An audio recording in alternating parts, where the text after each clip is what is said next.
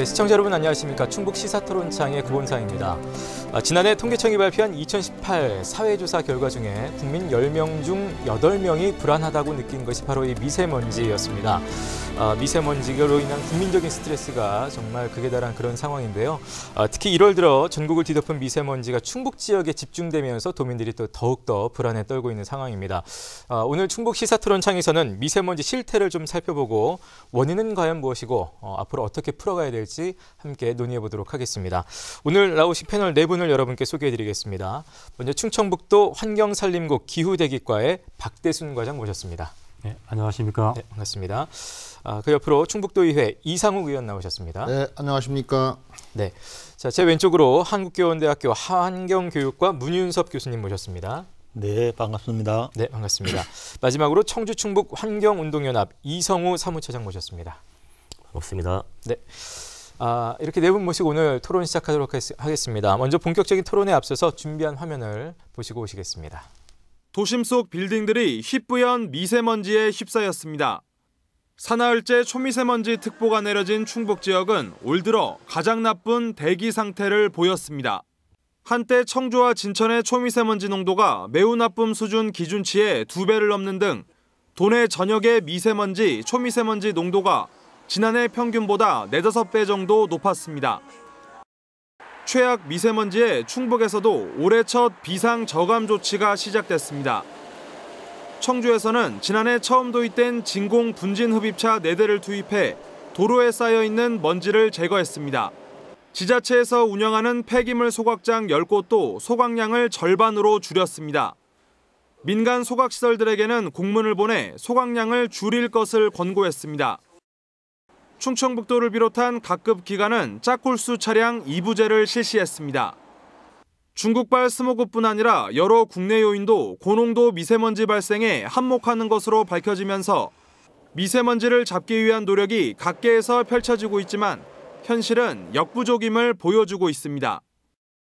네, 미세먼지 관련한 최근의 뉴스를 함께 보셨습니다. 어, 우리나라 겨울을 보통 이제 4만 4원이라고 표현을 했습니다만 요즘은 아, 4만 4미, 아, 3일은 춥고 4일은 미세먼지가 찾아온다 이런 표현까지 나올 정도로 미세먼지 상황이 실제로 지금 화면으로 보기에도 하늘이 아, 정 범상치 않은 그런 상황인데요. 오늘 이 미세먼지를 가지고 함께 토론 앞, 어, 나누기 앞서서 미세먼지 상황을 좀 키워드로 간단하게 표현해 주신다면 네 분 어떻게 표현해 주실지 우리 도의원부터 예.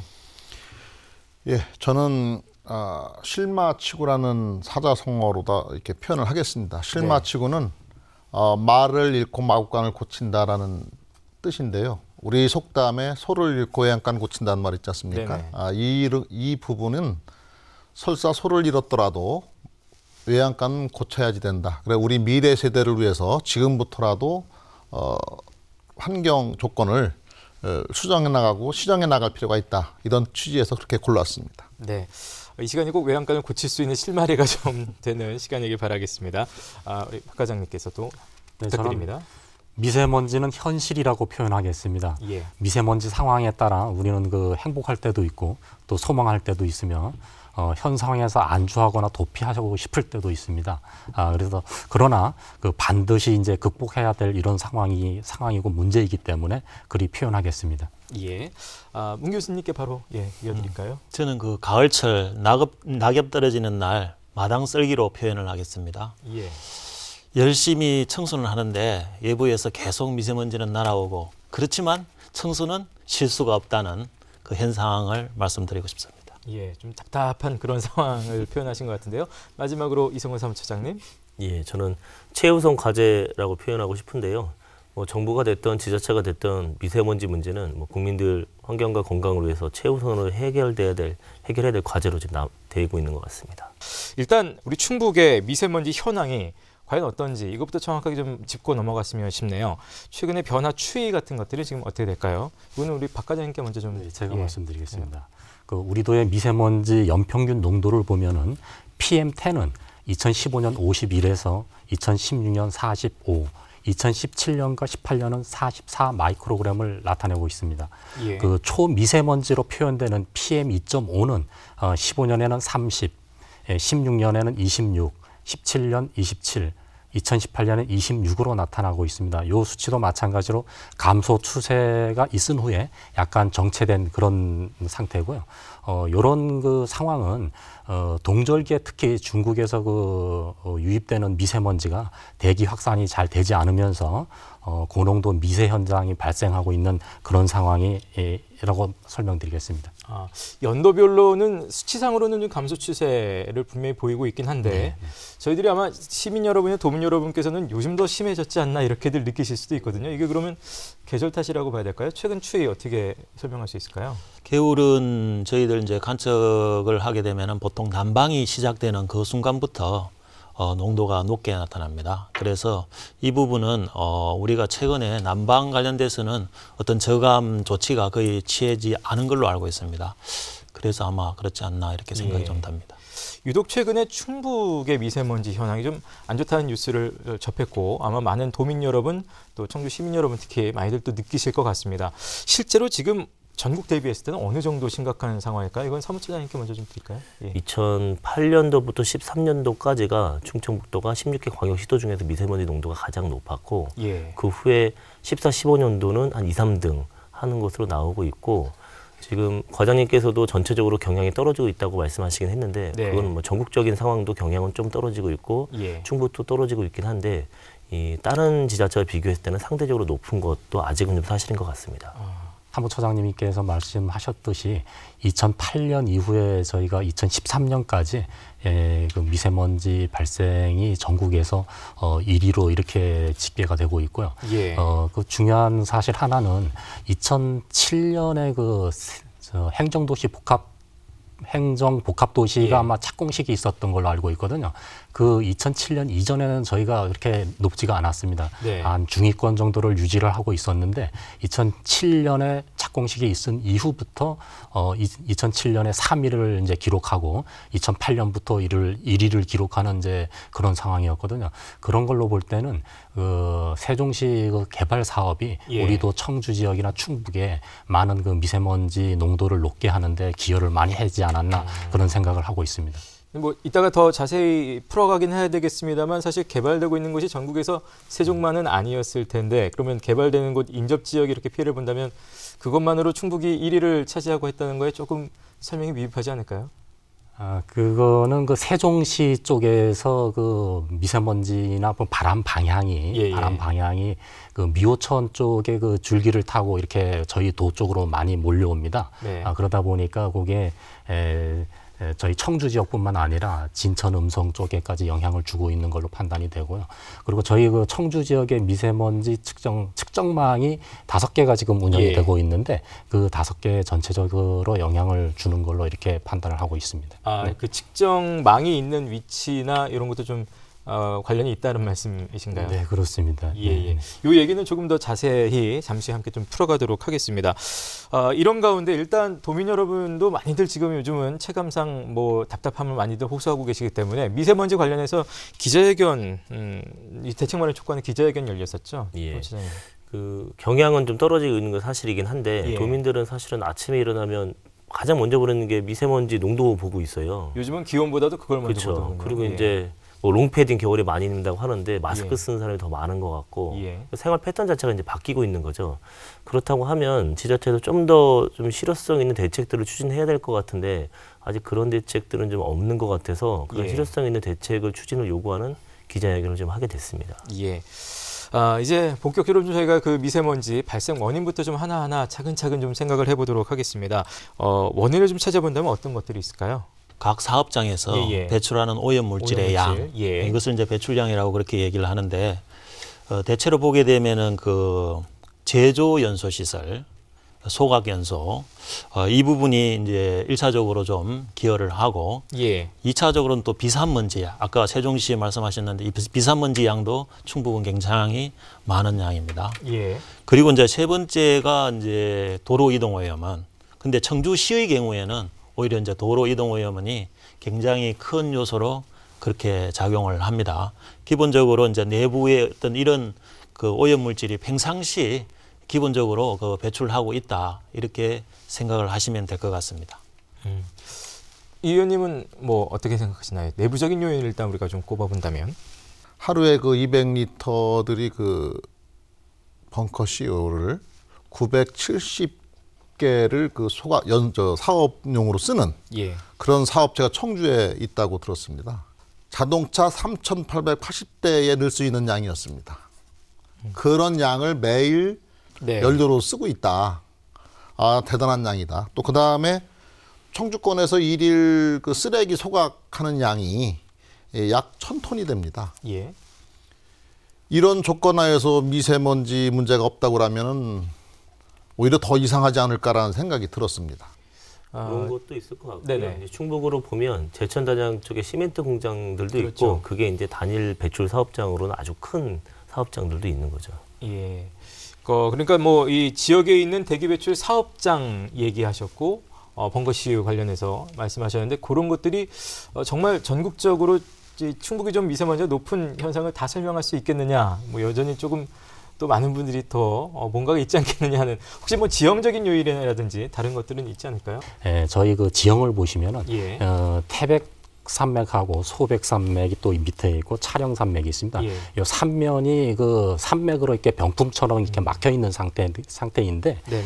또 서쪽은 이제 구릉지나 그 평야지대로 이렇게 이루어져 있기 때문에 에, 서쪽에서 이렇게 들어오는 바람들이 병풍처럼 막혀 있는 이 산맥에 막혀 있음으로 해서 예, 예. 잘 확산이 안 되는 어, 그런 지형적인 특성이 있는 것입니다.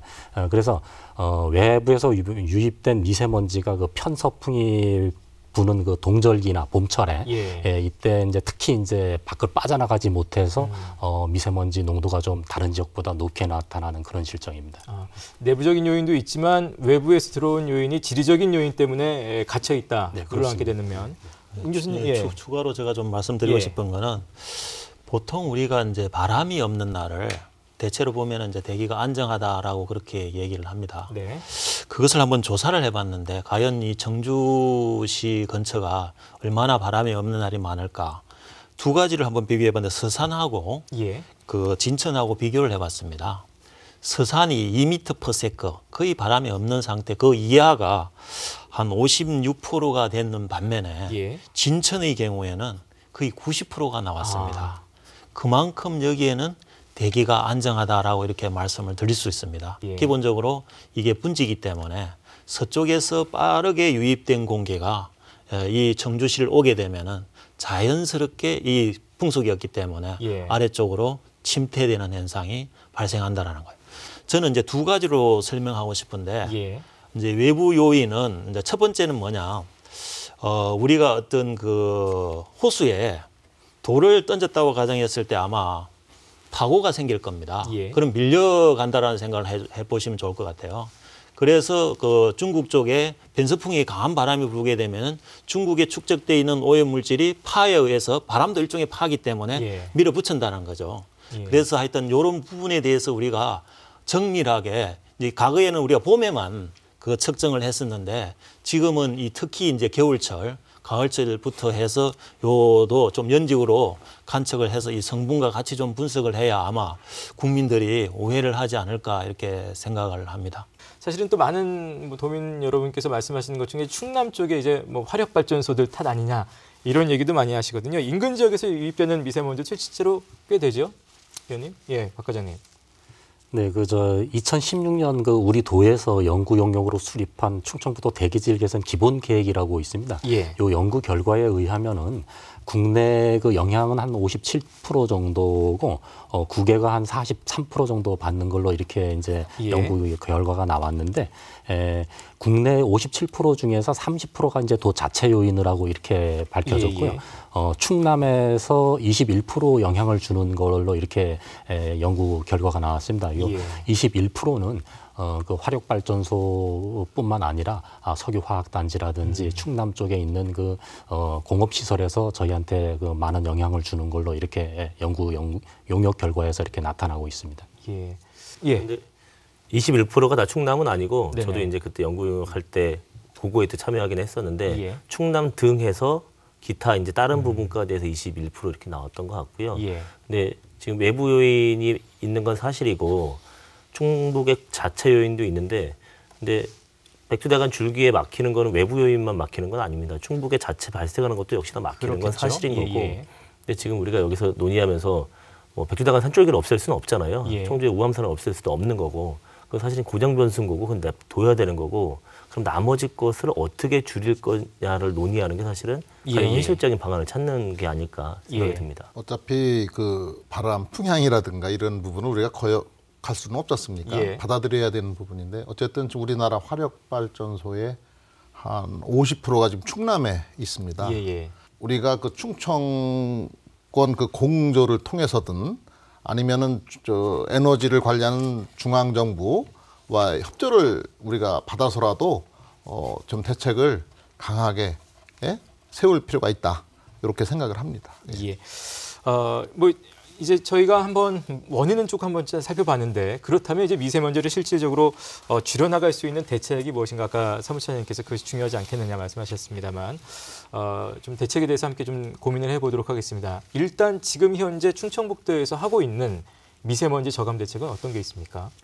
예, 저희 도에서는 그 민선 7기 공약 사항이라든지 환경연대 제안 의제 그리고 도민 전문가 시민단체들이 참여하는 그 미세먼지 토론회가 있었습니다. 여기서 예. 제안된 내용들을 반영해 가지고 어, 2030 충청북도 미세먼지 관리 종합 대책을 수립을 하셨습니다. 그래서 어, 요걸 추진 중에 있는데 요 추진 과제는 그 여섯 개 분야 44개 네개 과제로 구성이 되어 있고요. 예. 이런 그 주요 사업을 살펴보면은 대기 오염 측정망 확충하는 사업과 아, 미세먼지 예보 시스템을 이제 새로 구축하는 사업 그리고 산업계의 미세먼지 자발적 감축 협약을 통해서 어, 산업계 스스로 어, 미세먼지를 줄이려는 노력 어, 그리고 지역 난방공사의 그 청정 연료 전환하는 사업 예. 어, 그리고 전기차, 수소차 등 친환경 자동차 보급을 대폭 확대하려는 그런 사업도 있고요. 예. 어, 그리고 미세먼지 흡수와 여과 기능을 제공하는 그 도시 숲 있습니다. 이런 그 도시 숲을 도시숲 조성을 확대해 가는 사업도 여기에 포함되어 있고요. 어, 그리고 에너지 자립도를 높이기 위한 그 신재생 에너지 사업 등이 이제 포함이 되어 있습니다. 예, 예. 예, 그리고 지난해 그 12월에 구성한 시민단체 및 전문가 등이 참여하는 그 거버넌스 협의체 운영을 통해 가지고 도민과 함께 그 미세먼지 저감 방안을 지속적으로 발굴할 예정이고요. 어, 여기서 발굴된 미세먼지 에, 그 어, 방안을 저감 예. 방안을 어, 관리 대책에 적극 그 반영을 해가지고 어, 적극 추진할 예정입니다. 그래서 어, 저희가 그요 어, 종합 대책에는 어, 약 1조 6,500원을 500억 원을 그 투자할 계획에 있고요. 어, PM10의 경우에는 어, 저희가 30까지 환경 기준을 30으로 정해서 30까지를 예, 예. 이제 달성을 할 예정이고 PM 2.5도 마찬가지로 13을 목표로 네. 그렇게 저감 대책을 추진할 예정입니다. 예. 그럼에도 불구하고 이제 도민들의 체감에서는 만족스럽지 못하니까 지난번에 이런 기자회견을 네. 여셨겠죠. 이성현 처장님은 어떻게 생각하시나요? 우선은 그 지자체의 대책이라는 게 예. 예를 들면 미세먼지를 저, 저감하기 위해서 시민들이 할 수 있는 게 사실 별로 없잖아요. 그럼 예. 나머지 것들은 거기다 구조적인 문제고 지자체가 무언가를 해야 되는 문제인 건데 행정력이 동원돼야 된다. 예. 그런 부분에 대해서 실제 배출을 줄이기 위한 이런 부분들이 좀 더 강화돼야 되지 않을까 싶고 예를 들어 지금 자발적 협약을 맺어서 뭘 한다고 하는데 업체들이랑 예. 그렇게 하는 업체 협약 맺은 업체 몇 군데 들어요? 50몇 군데, 40몇 군데, 뭐, 하여간 100 지금 군데도 안 돼요. 18개 아, 18 있습니다. 군데인가요? 근데 청- 충북 도내에 있는 대기오염 배출 사업장이 3,600개 이상이 있어요. 예, 예. 대규모의 이제 사업장들을 이 중요하긴 해서 대규모 사업장과 자발적 협약을 맺긴 했는데 예. 지금 정부 차원에서도 대규모 사업장도 중요한데 조그만 사후 사우종 사업장도 지금 중요하다 이런 얘기 나오는 판인데 그런 부분에 대해서 좀, 좀 자, 약한 것 같고 예. 그리고 또 한 가지는 저 도에서 이제 수소차 도입한다고 하는데 네네. 수소차가 사실은 저도 잘 모르는 다행 비싸다고 하더라고요. 뭐 시설도 예. 비싸고 하- 비싸다고 하는데 그게 이제 뭐 미래 산업이고 해서 도입하는 부분도 있는데 미세먼지 저감을 위해 도입한다고 얘기도 해요. 예. 근데 충북도 내그 경유차가 엄청 많이 있고 이 폐차 지원이 되는 또는 이 그 연료 저감 이그 지원이 되는 대상이 되는 경유차만 하더라도 청주 시내 5만 대 이상이 되는데 예. 예. 수차 몇 대 도입하는 게 무슨 도움이 크게 될까 사실 좀 의문이 드는 거죠.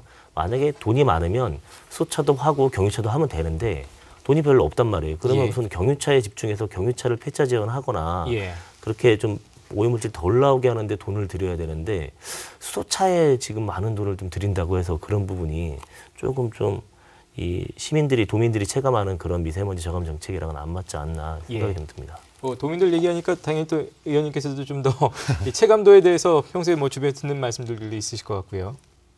원인별로 정확한 발생 데이터를 확보하는 것이 대책을 세우는 가장 기본적인 조건 아니겠습니까? 아, 그런데 이를 위해서는 어쨌든 시설별 TMS 즉 그 굴뚝 원격 감시 체제를 적극 설치하도록 법적 제도적 준비를 해야 될 것 같습니다. 예. 그래서 그 측정망 설치 위치 선정도 매우 중요한데 현재 대기 오염 측정망이 아까 얘기한 청주에서 여덟 군데 지금 있습니다. 그런데 그 중에 청원구에 2개소, 그 서원구에 1개소가 설치되어 있습니다. 그런데 미세먼지 주요 발생 지역임에도 불구하고 정작 북이면 지역과 예. 아, 성화 개신동 지역에는 설치가 되어 있지 않습니다. 그 원인별 또는 지역별 예. 정확한 포인트를 잡아서 측정망을 설치를 하는 것이 이 우선적으로 돼야, 돼야 된다. 그런데 앞으로 20개소 이상을 더 설치하는 걸로 알고 있거든요. 예. 그게 너무 시간이 오래 걸려요. 그래서 그거를 좀 어, 단시간에 좀 줄여서 예. 어, 더 사업을 빨리 진행할 수 있도록 우리 도에서 좀 노력을 해야 될 것 같습니다. 예. 어, 교수님은 어떻게 보시나요? 어, 방금 우리 도 의원님께서 말씀하셨는데 사실 이제 우리가 PM10하고 PM2.5를 동시에 측정할 수 있어야 된다라는 것을 말씀드리고 싶습니다. 그 이유는 뭐냐면은 PM10하고 PM2.5라고 하면은 이제 미세먼지와 예, 초미세먼지를 예 말씀 예. 사이즈가? 이제 예, 예. 10하고 2.5 예, 예. 두 개를 비교하는 이유는 먼지하고 가스는 서로 이동할 때 이동 그 속도가 다르기 때문에 우리가 좀 구분을 하게 되면은 이게 바로 인근에서 왔는지 아니면은 외부에서 왔는지가 하- 확연하게 우리가 알 수 있기 때문에 이 측정망 자체도 명확하게 해놓으면 그런 원인 분석을 좀 더 쉽게 할 수 있다. 우리가 할 수 있는 것부터 확실하게 하고 그 다음에 이제 제가 한 가지 더 추가시키고 시키고 싶은 것은 예. 이 양면 작전이라는 말을 쓰고 있습니다. 우리 혼자만 해결한다고 되는 것이 아니라 특히 이제 이 고농도가 발생했을 경우에는 아까도 말씀드렸지만 동시다발적으로 이루어져야 되기 때문에 이러한 동시다발적으로 양면 작전을 펼치기 위한 우리의 어떤 시스템은 구축되어 있는가? 예.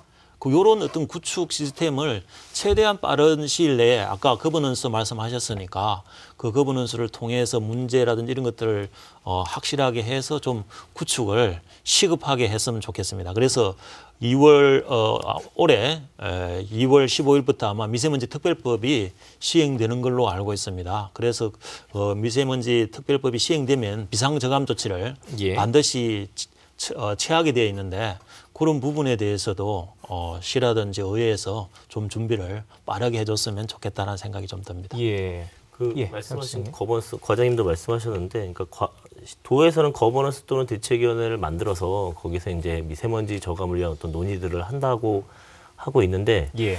분위기는 이 전체적으로 이제 미세먼지 저감을 위해서 해야 될 여러 가지 것들을 다 논의하는 게 아니라 예, 예. 그 중에 시민들의 참여와 관련된 부분들만 여기서 논의해서 뭐 시민들을 참여시키는 많이 음, 예. 많이 뭐 이런 것들에 대해서만 좀 이 행정 당국에서 고민해서 미세먼지 대책위원회를 구성하려고 하는 게 아닌가 이런 좀 의구심이 사실 좀 들고 있고 정부에서도 2017년도에 미세먼지 대책위원회를 만들었습니다. 거기서 예. 만드는 것도 정부에서 추진하고 있는 사업들에 대해서 대책 그 사업들에 대해서 잘못되고 있는 것들 또는 바꿔야 될 것들 이런 것들 전반적으로 점검하고 수정하기 위해서 만든 거기 때문에 도에서도 미세먼지 대책위원회를 미세먼지 전반적인 부분들에 대한 대책을 좀 마련하는 대책위원회로 생각하고 운영하는 게 좀 필요할 것 같습니다. 어, 저희 도에서 그 처장님이 우려하시는 그런 상황은 아니고요. 어, 저희도 뭐 규제가 필요하다면은 규제 범위까지도 이렇게 논할 수 있는 그런 준비가 돼 있습니다. 예, 그리고 아까 그 어, 산업단지나 그 어, 미세먼지 자발적 감축 협약을 왜 일종 그 큰 업체만 하느냐 이제 이런 말씀을 잠깐 예. 해주셨는데 일단 나온 얘기들이 많은데 이제 하나씩끔 좀 이거 예, 짚어- 짚어 가시는 거죠. 네, 예. 네, 네. 예, 그거는 저희가 그 일종 그 대형 사업장에서 그 배출되는 미세먼지 배출량이 예, 그 저희 도내 그 산업단 산업체에서 발생되는 그 배출량이 한 8, 90%를 차지합니다. 일종 배출업소에서 발, 예. 발, 배출되는 배출량이. 그래서 일단은 일종 그 배출 사업장을 어 작년에 이제 18개를 자발적 협약으로 체결했고 그리고 올해 올해 또 일종 사업장이 이제 시군에서 관리한 일종 사업장이 있습니다. 거기에 이제 44, 다섯 개, 45개가 있는데 요것도 이제 시군하고 자체적으로 자발적 협약을 체결할 예정이고요. 어, 그렇게 되면은 음, 뭐 일종 사업장에서 88, 90% 배출하는 그 오염물질 양을 상당히 줄일 수 있다고 저희가 판단하고 있고요. 그리고 일종 사업장뿐만 아니라 자발적 협약이 끝난다면은 그 2종, 3종까지도 계속 확대할 그럴 예정에 있습니다. 예. 그리고 어, 수소차 관계도 말씀을 해주셨는데 예, 그 친환경차 그 보급 확대하는 이유는 어, 지금 아까 우려해 주시던 경유차 문제 뭐 이런 거 말씀을 해 주셨는데 그 사실은 경유차에서 오염물질이 많이 나오기 때문에 그 경유차 폐차 지원하는 사업도 저희가 하고 있습니다. 하고 예. 있고 또 대형 그 경유차 어, 수송 화물차라든지 이런 거에 미세먼지 저감 장치가 없는 차량들이 있습니다. 예. 그런 차량에 대한 그 저감 장치 부착하는 그 사업도 지원을 하고 있고요. 어, 그리고 수소차라는 거는 아, 미세먼지 저감에 뭐 효과가 있다 없다를 떠나서 어, 친환경 자동차하고 경유차를 대체할 만한 예. 자동차라 이렇게 보시면 되겠습니다. 예. 제가 효과가 예. 없다는 게 아니라 지금 예산이 한정돼 있잖아요. 뭘 네, 할래도 예산이 한정돼 있는데 이 수차 100대, 110대를 올해 한 해 동안 보급하는 건가요? 네, 그렇습니다. 이 대당 가격이 어느 정도? 약 7천만 원 정도 되는 거고요. 경유차 어, 폐차 지원은 한 대당 대충 어느 정도 비용이 들까요? 그, 아니, 그거는 이제 한 500만 원 정도 이제 지원되는 걸로 알고 예. 그러면 있고요. 사실은 수차를 100대 늘리는 것보다 돈이 한정돼 있다고 하면 그 돈을 더 써서 경유차를 폐차전을 더 하는 게 당장 더 현실적이지 않냐라는 아, 말씀드리고 당연히 이게 장기적으로는 뭐 돈이 더 있다고 하면 친환경 적이고 가야 될 방향인지 모르겠는데 당장 도민들은 미세먼지 때문에 난린데 110대 이거 7, 8천 드는 돈을 여기다 드리는 게 현실적이냐는 말씀을 드리는 거고 또 한 가지는 지금 아까 음, 자발적 협약 맺어서 배출 줄이고 있다고 했는데 그러면 그 대형 사업장들은 어떤 물질들을 줄이기로 한 거죠? 에, 어떤 물질이 한정된 건 아니고요. 미세먼지뿐만 아니라 황산화물, 전체 오염 물질을 줄이기로 예, 한 이런 건가요? 것까지 다 같이 줄이는 겁니다. 근데 어쨌건 정부에서도 그렇고 뭐 일종이 중요하긴 하지만 나머지 사업장들에 대해서 그런 배출을 줄여야 된다는 얘기들이 있는 거고 네, 같이 저희가 할, 이제. 한 재작년부터 충북도에 제안했던 게 지금 이제 음. 과장님께서 일종 확대하고 이, 이, 삼종까지 확대한다고 했는데 그걸 그렇게 할 거 없이 배출오염 기준 강화하면 됩니다. 정부에서도 작년에 배출오염 기준을 강화했고요. 몇개 예. 업종에 대해서 먼지랑 낙사랑 싹스 강화했는데 배출오염 기준을 강화하는 조례를 충북도가 만들면 됩니다. 만들 수 있고요. 그래서 재작년부터 제안을 했는데 재작년에 이제 충북도에서 했던 얘기는 특별법이 만들어질 거고 정부에서 강화할 거니까 괜찮다. 예. 했습니다. 근데 사실은 특별법이 만들어지지만 해당되는 게 사실 별로 없어요. 예. 몇개 사업장밖에 안 됩니다. 그렇기 때문에 저는 이 일종 대형 사업장도 중요하긴 한데 여러 많은 사업장 3,600개 이상의 사업장이 있기 때문에 이런 사업장들을 규제하기 위한 배출오염 기준 강화, 배출오염 기준 강화는 조례 충북도가 만들 수 있으니까 좀 만들면 된다고 생각합니다. 그거를 단계적으로 확대할 부분들이 아니라. 예.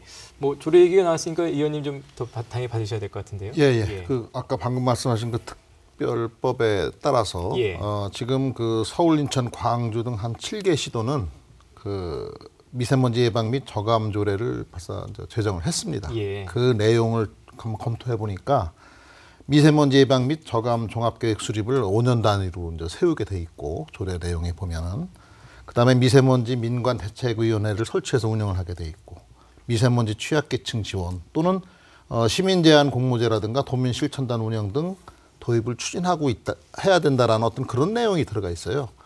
근데 이제 충북에는 아직 미세먼지 저감 및 관리에 관한 별도의 조례가 없습니다. 예. 다만 그 미세먼지 정, 경보에 관한 조례만 아, 지금 있거든요. 그래서 이런 조례를 어, 하는데 피- 제가 이렇게 검토를 해보니까 두 가지 정도의 조례가 좀 필요한 것 같아요. 예. 대기 오염 물질의 배출 허용 기준을 대폭 강화하는 조례를 만들 필요가 있다. 두 번째는 민관 협의체 구성된 오- 작년 12월 달에 됐다고 했지 않습니까? 예. 그 활동의 그 영역 같은 것을 구체적으로 명시해서 미세먼지 예방 및 조감 조례를 예 그걸 포함해서 집어넣어 갖고 아까 우리 사무처장님께서 염려하신 부분 네. 그런 부분을 풀어줄 수 있도록 이렇게 한번 준비를 할 예정입니다. 예. 말씀 들으셨는데 혹시 더 법적으로나 좀 필요하다고 느끼는 부분들이 또 더 있으신지요? 또 한 가지는 예. 지금 다음 달에 이제 미세먼지 특별법이 시행이 되는데 예. 시, 시행된다고 다 되는 게 아닙니다. 뭐 차량 이부제 같은 경우는 자체 조례를 만들어야지 시행할 수 있습니다. 예. 뭐 의원님께서 조례 말씀하셨는데 특별법 시행돼도 조례 없으면 시행 못하는 건데 조례 그 차량 이부제를 할 수 있는 조례도 내용을 좀 빨리 다듬어서 같이 만들어져야 될 것 같습니다. 예. 뭐 이런 부분들은 여야 없이 다 공감대가 형성돼 있는 건지요? 예, 그러니까 지금 오늘 토론회를 준비하느라고 예, 예. 저저뭐 지금 업무 보고 도의회가 개원이 돼서 지금 업무 보고를 받고 있는데요. 네네. 실질적으로 폭넓게 의견 수렴을 하지는 못했습니다. 그렇지만 몇몇 의원들과 이렇게 얘기해 본 바는 다들 공감하고 가장 우선적으로 처리해야 된다라는 에, 동의를 받았습니다. 예. 예. 아, 이제 충북만에 워낙 뭐 충북이 조금 더 미세먼지가 좀 심하다는 취지로 오늘 저희가 또 이 토론회를 마련했으니까요. 충북만의 또 맞춤형 어, 저감 대책 또 어떤 아이디어들이 있을까요? 난방 시설이 아닌가 하는 예. 생각이 듭니다. 지금 현재 난방은 거의 어떤 저감 시설이 별도 없기 때문에 어, 유일하게 이제 할 수 있는 것이 이제 친환경 어, 콘덴싱 어, 보일러를 설치하는 경우입니다. 서울시 같은 경우에는 지금 그것을 어, 시에서 지원을 해주고 있습니다. 예, 아마 예. 우리도 과장님 어떻습니까? 지원이 가능한지는 모르겠고요. 일단 그 우리 난방부터 예. 먼저 우리가 저감 을 해야 되지 않냐. 왜 이제 그런 말씀을 드리냐면 사실 뭐 저희들 아파트 가보면은 그냥 굴뚝이 바로 음. 나와 있습니다. 그래서 그 오염 물질 우리가 바로 막기. 막고 있기 때문에 저는 그 지나면서 굉장히 그 불쾌감을 굉장히 많이 느꼈는데 그 난방에 대한 어떤 대책을 근본적으로 좀 수립을 해야 된다는 생각이 들고요. 그다음 아까 이제 우리 도 의원님께서 말씀하신 데 그 노천에 관련된 소각 우리는 청주시도 있지만은 옛날에 청원군이 통합되었기 때문에 예. 예, 그 지역에 대한 어떤 그 봄철 되면은 노천 소각이 꽤 많습니다. 겨울철도 마찬가지. 또 그리고 이제 주변 뭐 아까 세종시도 얘기를 했는데 그런 부분이 이제 어떻게 될 것인지 좀 논의를 해서 그 어떤 난방실 미국이 같은 경우에는 이 난방 시설에 대한 보일러가 별도 소각 보일러를 설치를 해줍니다. 그러면 이제 막 이렇게 그 노처, 불법 소각을 하는 것이 아니라 그 지정된 곳에 가서 소각을 하고 오염물질 저감시키기 때문에 에, 그런 것이 충분히 가능하다는 생각이 들거든요. 예. 그런 측면에서 볼 때 그 어떤 연소 시설 중에서 우리가 좀 할 수 있는 아까 이제 이미 그 조례로서 할 수 있는 건 또 조례로 하지만은 좀 그런 부분이 안 되고 있는 나머지 에, 그런 부분도 우리가 좀 신경을 써야 되지 않나 그런 말씀 좀 드리고 싶습니다. 아, 지금 저희가 이제 우리 충북 지역의 에, 미세먼지 저감 대책도 이제 함께 좀 살펴보고 있는데 자, 과연 그렇다면 이 미세먼지를 가지고 타 지역에서는 과연 성공적으로 이것을 좀 걷어낸 어, 지역이 있는지 이것도 많은 분들이 좀 궁금해 하실 것 같습니다. 왜냐하면 뭐이 하늘에 이르기 때문에 이게 과연 되겠어라는 도민들도 있으실 텐데 어, 뭐 저감 노력이 좀 성공한 다른 지역 어디 있을까요? 독일 같은 경우에는 이제 연소 시설에 굴뚝 청소법이라는 게 있습니다. 그래서 한 달간 의무적으로 굴뚝을 청소를 해야 됩니다. 아, 네. 그렇게 되면은 이제 처음에는 그 좀 뭐 반발도 있었지만은 그 일자리 창출이 되는 예. 걸로 알고 있습니다. 아. 매번 또 그 굴뚝을 전문적으로 청소를 하는 분이 생기고 일자리 창출도 되고 지금은 아주 효율적으로 잘 되고 있다고 합니다. 그래서 이게 매번 이 굴뚝을 청소한다라는 것은 굉장히 그 의미가 있는 것이거든요. 예. 그래서 지금 현재 그 청주시의 경우도 이 지금 방지 시설에 대해서 한번 점검이 좀 필요하다. 네. 실제적인 효율이 얼마인지 예. 그 효율을 보고 효율이 좀 낮다면은 어떤 우리가 지원을 할 때 그러한 어떤 그 최적의 방지 기술을 어느 정도 어 우리 시에서 좀 지원을 해주고 어 그쪽에서도 이렇게 하게 되면 오염 물질 훨씬 더 저감할 수 있으니까 그것도 네. 하나의 어떤 방안이 될 수 있다 이렇게 말씀을 드리고 싶고요. 뭐 해외 사례 말씀하셨는데 사실 이제 국내 사례 지금 우리가 함께 공유하고 있는 법 안에서 성공적으로 일어난 다른 지역이 아마 더 궁금해하기도 할 것 같습니다. 어, 의원님 혹시 다른 지역 사례? 예, 네, 제가. 먼저 말씀드리면 아까 제가 대기환경 연보라는 책을 말씀을 드렸고 네, 예. 거기에 이제 충청북도가 2008년도부터 13년까지 1등이라고 했어요. 그러면 그 전에 어디가 1등이었을까? 서울이 1등이었습니다. 네. 서울이 2000년부터 2003년까지 16개 광역 시도 중에서 미세먼지 평균 농도가 1등이었고요. 제일 안 좋았던. 예, 예. 안 좋았습니다. 그런데 지금은 서울은 그렇게 안 좋다는 얘기 별로 안 합니다. 청주나 충북이 더 안 좋다고 하죠. 그러면 서울은 언제부터 떨어졌을까? 2004년도 정도부터 떨어지거든요. 그래서 예. 지금은 평균 농도가 한 중간, 그러니까 전국 평균에서 약간 밑에 서울이 어, 있습니다. 네네. 그럼 그때 어떤 일이 벌어지냐면 충청북도는 대기 환경에 대한 특별법이 있고요. 그 시행된 게 2000, 2005년도부터입니다. 그리고 어, 수질은 물은 총량을 관, 규제하는데 대기는 아직 총량을 규제, 총량을 규제하는 겁니다. 배출 농도를 규제하는 게 아니라 배출 농도를 준수했는데 농도 준수했는데 배출되는 양이 너무 많다, 많다 보니까 오염물질이 너무 많아지는 거죠. 그래서 총량을 규제하는데 수도권은 대기 총량제를 2007년부터 시행을 합니다. 예. 근데 보통 그런 법을 시행을 할 거면 하기 전에 유예 기간 뭐 한 2, 3년 정도 주고 뭐 지원을 하거나 업체들한테 이런 과정들을 겪는 거죠. 이제 그 시기가 서울이 미세먼지 농도가 떨어지는 시기랑 사실은 맞물립니다. 예. 딱 그것 때문은 아니겠지만 그런 예. 거에 좀 연구를 좀 해봐야 되겠지만 저는 수도권의 그런 노력들이 서울과 수도권의 미세먼지 농도를 떨어뜨렸다라는 게 명확히 보이는 사례이고요. 마찬가지로 그렇다고 하면 뭐 외부 요인이나 지형적인 요인이 있겠지만 지역 자체 배출을 저르기 위한 노력이 있으면 지역 농도는 떨어뜨릴 수 있다. 이런 게 이제 서울 사례에서 충분히 볼 수 있지 않을까 싶습니다. 예. 자, 오늘 미세먼지 저감 대책까지 여러 말씀을 좀 들어봤습니다. 결국은 이제 뭐 지속적으로 좀 장기적으로 꾸준하게 해 나가야 될 텐데, 어, 아까 말씀 듣다 보니까 결국은 행정력이 좀 동원돼야 될 부분들이 분명히 많이 보입니다. 그래서 충청북도에서 이 문제를 어떻게 풀어가야 된다고 보시는지, 예, 이건 네 분 다 좀 기회를 드리겠습니다. 우리 의원님부터 예 발언해 주실까요? 저도 예, 기업을 예. 하고 있습니다만 아, 내가 벌 과태료를 내는 게 원가가 절감되는 경우도 있거든요. 차라리 그런 인식을 갖지 않도록 그 과감한 규제를 펼 필요가 있다고 생각합니다. 예. 제가 어차피 마무리 발언은 또 다시 한번 기회를 드릴 겁니다. 충청북도가 좀 꾸준하게 이 문제를 풀어가기 위해서 어떻게 해야 될지. 지자체의 역할이 있거든 시민들의 역할이 있을 것 예, 같은데 우리가 시민들한테 불편을 좀 감수하자. 사실 미세먼지 저감하려면 불편 감수해야 됩니다. 네네. 불편을 감수하자라고 얘기하려면 지자체가 강력한 정책 시행해 줘야지 아 저렇게 강력한 정책 시행하는데 시민들 나도 불편 감수해야지 생각이 들 것 같습니다. 그래서 예. 지자체의 분명한 역할은 시민들이 불편을 감수할 수 있도록 강력한 규제 정책, 예. 뭐 배출형 기준 강화라든가 산업단지 증설 중단이라든가 여러 가지 어, 지자체 차원에서 할 수 있는 강력한 정책들을 시행을 해줘서 그걸 보면서 시민들도 참여할 수 있도록 이끌어주는 역할들을 지자체가 해야 되는 것 같습니다. 예. 교수님. 예. 아, 저는 먼저 어떤 그 원인 어떤 기여 부분에 대해서 좀 더 많은 통계 자료가 예. 좀 필요하다라는 생각이 들어요. 공인된 통계 자료가 필요하다는 생각이 들어 예. 듭니다. 그렇게 하기 위해서는 아까 우리 미세먼지 저감 해비체 거버넌스가 이미 이제 구축이 되었습니다. 이게 어 상향에서 하향식이 아닌 즉 정부에서 어떤 지시 에 의한 어떤 정책에 의한 것이 아니라 사실은 밑에서부터 시민에서부터 위로 올라가는 bottom bottom-up 방식이 되어야 된다는 생각이 듭니다. 어, 그렇게 하기 위해서는 사실 이제 이 협의체가 이제 어떻게 우리가 아까 뭐 어, 시의회에서도 아마 그 의원님께서 말씀하셨지만 어떤 그런 조례가 만들어진다면은 예. 그것을 바탕으로 해서 어, 기본적으로 어떤 우리가 그 기여도 분석뿐만 아니라 어떤 그 원인 물질이 도 뭔지 그것을 충분히 해서 데이터를 어느 정도 이제 축적을 하고 소위 말해서 맞춤형 저감 어떤 시스템을 우리가 또 구비를 해야 된다라는 말씀을 드리고 있습니다. 그리고 이제 현실적인 상황으로서는 아까 제가 양면 작전을 했는데 예. 우리가 어떤 비상 저감 조치 굉장히 저는 중요하다고 생각합니다. 현실적으로 저희들은 그 오염 물질이 발생했을 때 일단은 마스크를 쓰고 대처하는 것이 바람직합니다. 그래서 어떤 그런 시스템이 제때 발동이 되어서 아 이런 경우는 우리가 당연히 좀 피해야 되겠구나 하는 그런 것들이 좀 갖춰졌으면 좋겠다는 생각이 먼저 듭니다. 예. 박 과장님. 네. 예.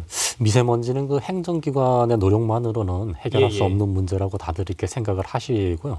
저희 도에서는 그 2030 충청북도 미세먼지 관리 대책에 이제 적극 이행을 하고 그 민간 협의회를 통해 가지고 주민들의 의견을 충분히 반영한 그 새로운 그 시책 저감 사업들을 많이 발굴해 가지고 이제 이- 시행해야 되겠고요.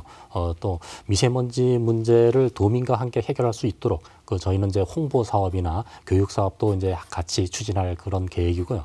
그리고 아울러 그 도민들께서도 어, 공사장이나 그 농가의 불법 소각행위나 아, 노후 경유차의 장시간 공회전 행위 이런 그 행위들은 그또 자제 또는 금지를 좀 해주시고 그 차량 이부제 시행 등 그 미세먼지 저감을 위한 정책에 예, 적극 협조해 주시는 게 좋을 것 같습니다. 예. 지금 이제 뭐 필요한 말씀하셨는데 사무실장님 뭐 강력한 규제를 해야 된다. 또 이 의원님도 이제 제도적으로 좀 뒷받침이 잘 돼야 된다고 많이 좀 필요성을 역설하셨는데 그 부분에 대해서 혹시 어떻게 생각하시나요? 예, 그 저 대기 오염 총량제 관계는 그 어, 조금 전에 그 사무처장님께서도 말씀하셨듯이 수도권 대기 환경 개선에 관한 특별 법에 네. 그런 총량제를 시행할 수 있는 근거가 이렇게 있습니다. 어, 근데 아직 저희 도에는 그러한 법 적인 근거는 없고 다만 지금 현재 수도권 대기 환경 개선에 관한 특별법이 예, 법 어, 저기 국회에서 계류 그 개정 계류 중인 걸로 알고 있습니다. 이게 법명이 이제 수도권 등 이렇게 등자를 넣어가지고 수도권 이외의 지역도 어, 그 관리를 할 수 있는 있도록 이렇게 법을 개정한 준비 중인데 에, 요게 개정이 된다면은 어, 저희 그 도나 다른 시도에서도 어, 그 총량제를 시행할 수 있는 근거가 이제 생기게 되는 거고요. 예. 어, 요런 이제 법적 근거가 생긴다 그러면은 어, 저희도 뭐 충분히 검토를 해가지고 어, 또 그때 검토할 때는 이제 민간 협의체나 환경 단체나 어, 어, 협의를 통해서 예. 이렇게 추진하도록 이렇게 하겠습니다. 추가로 네네, 다른 건 아닌데 저번에 그 대통령 공약으로 예.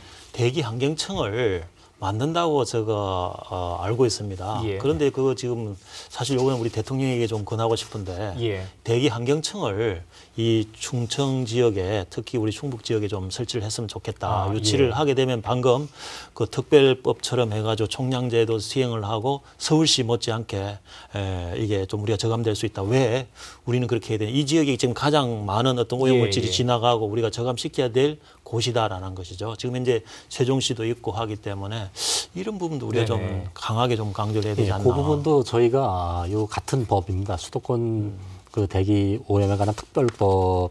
업인데 여기에 이제 수도권 쪽에는 그 대기관리청이 예, 예, 만들어지도록 예, 생기도록 이렇게 그 법에 규정을 하고 있는데 서명을 해서 좀 요청하는 방법 이런 건 예, 없습니까? 저희 도에도 이걸 개정 요구를 하고 있는 예. 상태입니다. 예, 그래서 그 법령이 개정된다면 저희도 중부권 뭐 대기 어, 환경청 뭐 이런 식으로 관리청 뭐 이런 식으로 이제 아마 아, 만들 수 있을 것으로 이렇게 예상을 하고 있습니다. 네. 총량제는 그렇게 법적 기준이 만들어지면 하면 예, 되고요. 근데 배출오염 기준을 강화하는 조례는 이미 법적 기준 만들 수 있게 돼 있기 때문에 예, 예. 도에서 고민만 하면 그 만들면 되는 겁니다. 예. 예, 이미 할 수 있는 겁니다. 그건 또 이 의원님께서도 애써 주셔야 될 것 같습니다. 예. 자 오늘 많은 말씀 함께 들었습니다. 마지막으로 미세먼지 관련해서 혹시 못다한 말씀 있거나 더 하고 싶으신 말씀 있으시면 마지막으로 부탁드리겠습니다. 이 의원님부터 예, 하겠습니다.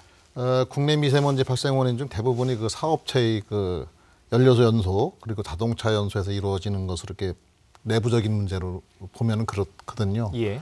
어, 그, 엔- 그, 그것은 결국은 에너지를 관리를 하는 충무부서, 어, 산자부라든가 환경부에서 어, 집중적으로 관리를 해줄 필요가 있습니다. 중앙정부 차원에서. 물론 지방정부가 하는 것도 뭐 할 수 있는 수단 다 동원해야 되지만 아, 한계가 있는 부분이 분명히 있거든요. 방금 말씀하셨듯이 어떤 법적 근거가 이제 부족하고 이제 이런 부분 때문에 예. 그렇고 그 이를 위해서 그 중앙 및 그 지방 정부의 정책 결정자들뿐만 아니라 우리 도민들도 어 환경 문제는 꼭 남의 문제가 아니라 내 문제라는 어떤 인식을 같이 해줄 필요가 있습니다. 그 앞서 말씀드린 대로 그 실마치구 의미를 다시 한번 되새겨 볼 필요가 있습니다. 아, 외양간을 고치는 것은 나간 소 때문이 아니라 다시 들어올 소 때문에 고쳐야 되는 것이거든요. 어, 그래서 그 발생 원인을 우리 스스로 줄이기 위한 노력을 해야 된다. 그렇게 말씀드리면서 예, 가름하겠습니다. 예. 사무처장님. 예. 음, 시민들, 도민들의 참여는 많이 얘기한 것 같고요. 이제 도민들의 참여도 중요한데 저는 사실은 지사님께서 결심하시는 게 주- 중요할 것 같고요. 예. 지자체 미세, 지자체 미세먼지를 저감하는데 어, 미세먼지를 저감해서 충북 도민의 환경과 안전을 지킨 지사 지사님으로 남을지 아니면 미세먼지를 악화시킨 지사님으로 남을지 사실 이제 민선 지금 이제 마지막이세요. 삼기 아니 삼기가 아니라 이제 세 번째 마지막이신데 어떤 지사님으로 나눌지 도지사님께서 좀 고민 많이 해주시면 좋을 것 같습니다. 네. 교수님 부탁드립니다. 아, 저는 이 미세먼지는 재난이다. 아, 이런 말씀을 드리고 싶습니다. 그럼 재난이기 때문에 재난 안전에 대한 교육이 필요하다. 제가 물론 교육 기관에 있기 때문에 이 부분을 특히 말씀드리고 싶은데 특히 이제 우리 환경 교육에 대해서 이 미세먼지 관련된 이런 것들이 이제 초등에서 특별히 필요하다라는 생각이 많이 듭니다. 왜 그러냐면 지금 현재 그 미세먼지가 어떻게 보면은 뭐 단순하다면 굉장히 단순한 문제 될 수 있지만 그 원인이라든지 기여 대책 이런 것들에 대해서 우리가 교육할 것이 굉장히 많습니다. 그래서 이 예, 알아야 뭔가 할 수 있다라는 것이죠.